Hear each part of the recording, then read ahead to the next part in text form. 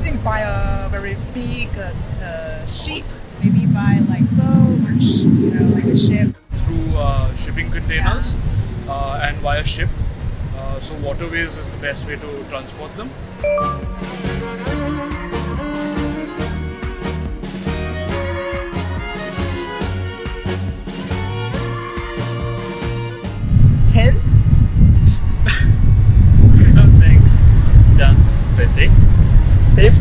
Yeah.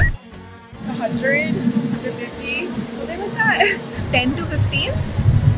Yeah, I, th- I think about I it. think maybe 25 30. Can you tell us sure. what it is?